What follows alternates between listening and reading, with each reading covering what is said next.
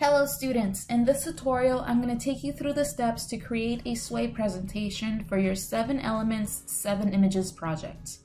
The first part is to find the Office 365 app on Clever. Once Office 365 has loaded, you guys are going to look for the app called Sway. And then we have the option to select a new blank sway or select a template to start from. I am going to select a brand new blank sway. For those of you guys unfamiliar with Sway, it is kind of like PowerPoint in that it creates a presentation with very easy to follow templates and it allows you to add a lot of multimedia. We're gonna keep it simple. We're gonna title our Sway first. It, that's the title card by default. And I'm gonna call this one seven elements, seven images, just like the project is called. You guys can get fancy and name it something else. I'm going to highlight the title and I'm gonna click emphasize. Emphasize is the version of bold for sway. I don't know why it's called emphasize and not bold. Next, I'm going to click on the plus sign to add another card. This time I'm going to select text and this is gonna be my fun facts card.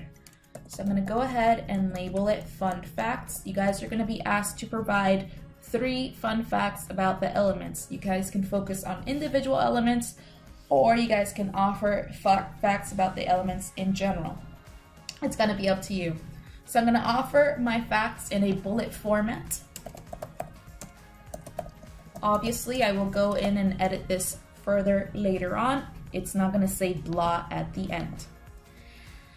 Then I'm gonna go and start adding each of the images that are gonna represent my seven elements of art.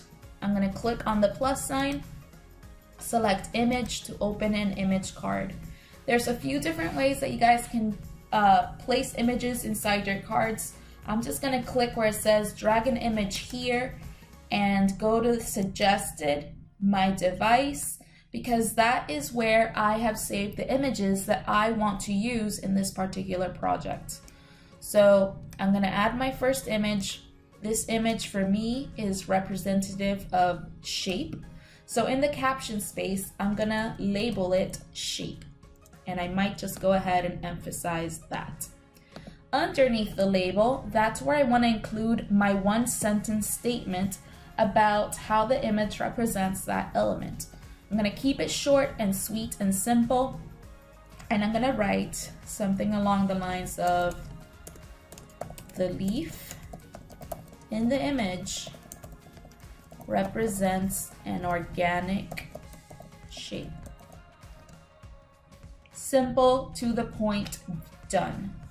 Next, I'm gonna click the plus sign again and I'm gonna add another image card. And just like previously, I'm gonna go and drag the image there by going to suggested, my device, and I'm gonna upload the next image. This image is the image I'm gonna be using for the element of form. So in the caption space, I'm gonna go and label it form and underneath it, underneath the label, I'm gonna write my one sentence statement. Something along the lines of the 3D sphere in the image may look light, but it is heavy and impossible to move.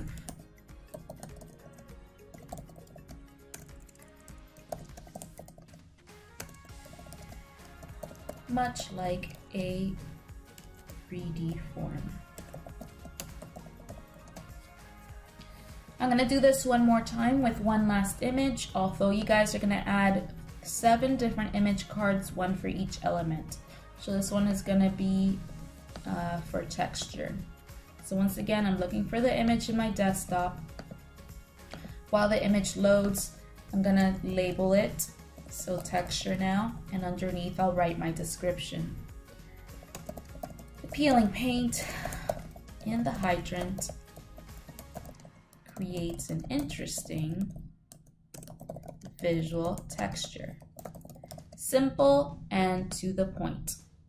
Now, you guys would pretty much continue until you guys have seven images, one for each of the art elements.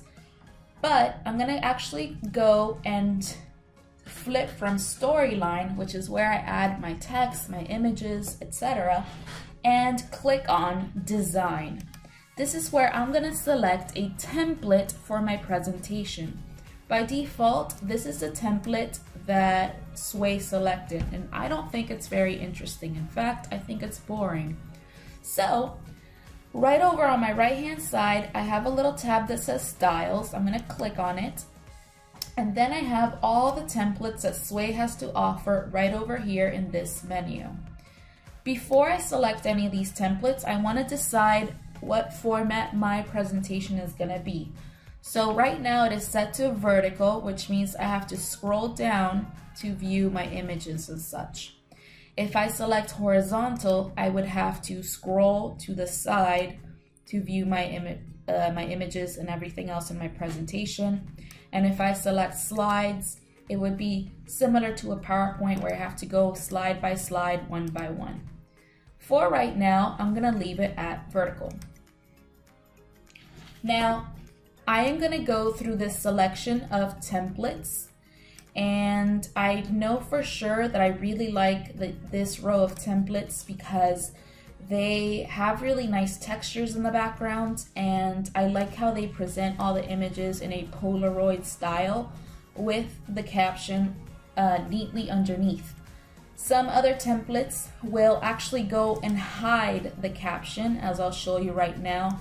I'm gonna click right here where it says play to go into preview mode and it shows me my presentation thus far. You guys will see that the, the caption for the image is just kind of hidden a little.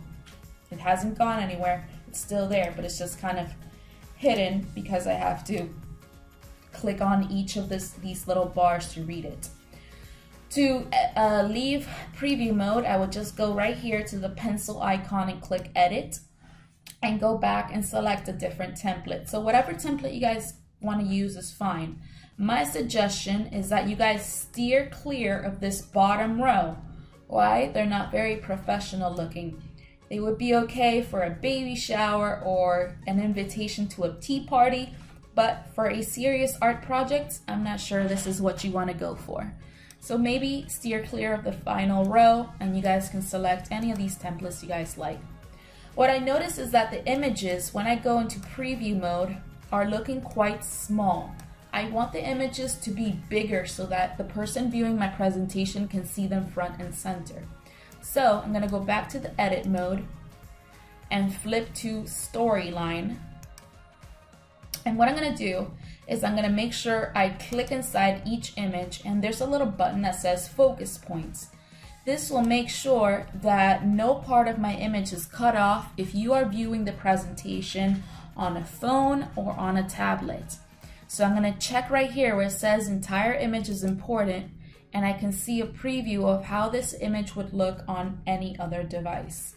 Likewise, for every single image, I'm going to click where it says focus points, check off entire image is important, and make sure that my image is not cut off regardless of the device I am using to view my presentation. Now, what you guys will notice is that there's three little options for how you are going to view the image. Right now, each of my images is set to subtle. That means I'm gonna view the image very small.